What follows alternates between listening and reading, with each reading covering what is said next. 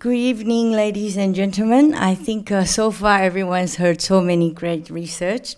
So my name is Cindy Lin, and I work uh, at the Brain and Mind Center that belongs to the Sydney University. So first, what an honor to be here tonight to receive this award.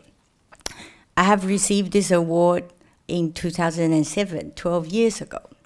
And now I want you to take a break and just imagine being relatively healthy and normal, and then soon after you reach your adulthood, you slowly become weak and progressively not able to walk, talk, or swallow properly. So clearly, there's a lot of neurodegenerative disease that share these symptoms. And these are the problems that are affected by patients with Kennedy's disease.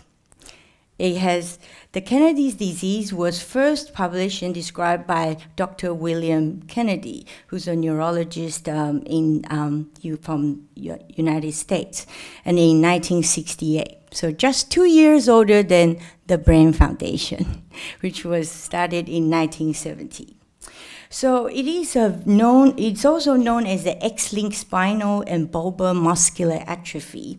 However, it's extremely rare one in 40,000.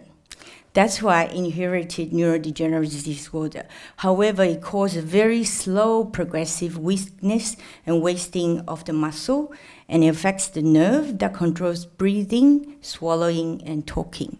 Therefore, as you can understand how Brain Foundation has branched its horizon that this Kennedy's disease is not on the cloud. So now I'm adding that into the Brain Foundation Avenue. Okay, so by knowing this disease onset can actually range from as young as 18 to 64 years old. However, the diagnosis of confirmation can be delayed up to five years because it's extremely rare and extremely difficult to diagnose. That's why our project is actually designed to address this issue by establishing a comprehensive um, central, meaning using functional M MRI and peripheral assessments to investigate this disease. So the funding will provide us to basically to the fees of feeding these extremely rare patients to do the MRI scans, as well as assessing their peripheral nerve function. Because neurodegeneration can occur from the brain, the spinal level, all the way down to peripheral nerve. So our team, um, over 20 years of experience in neurodegenerative disorder, I would like to take on this project that will be able to comprehensively assess these patients.